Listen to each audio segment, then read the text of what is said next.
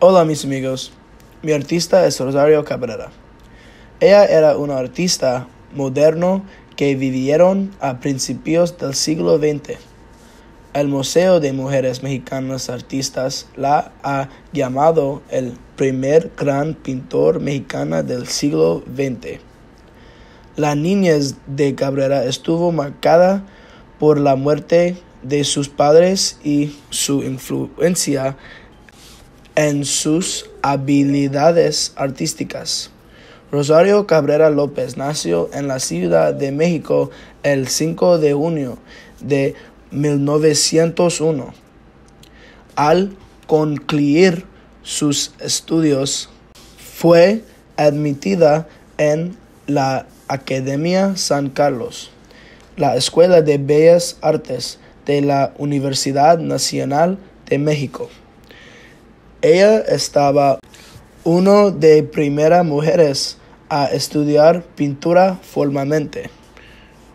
En esta academia se benefició del conocimiento de bien profesores como Alfredo Ramos Martínez. En 1980 obtiene el de mayor calidad promedio en su escuela en la pintura, escultura y grabado, que merece el reconocimiento de la universidad con un diploma y una medalla. En 1921 participa en la gran exposición celebrando los 100 aniversario de la independencia de México, compartiendo créditos con reconocidos artistas como Eduardo Salares. Rosario Cabrera tiene un verdadero talento y un regalo positivo para expresar volumen a través de calor, una cualidad primordial en un pintor.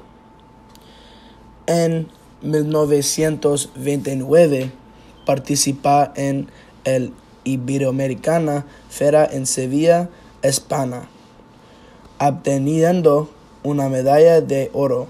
También expuso y vendió en el parisino Galerie Bernheim Juan.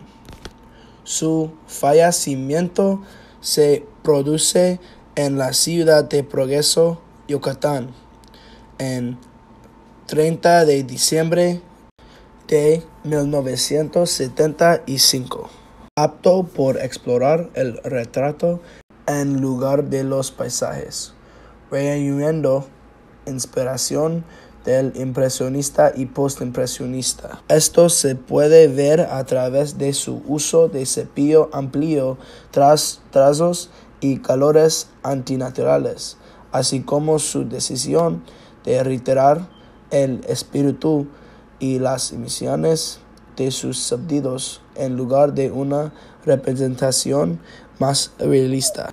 Aunque no eligió pintar figuras realistas, sus esculturas se centraron mucho en el realismo y en transmitir la anatomía humana precisa. Hola mis amigos,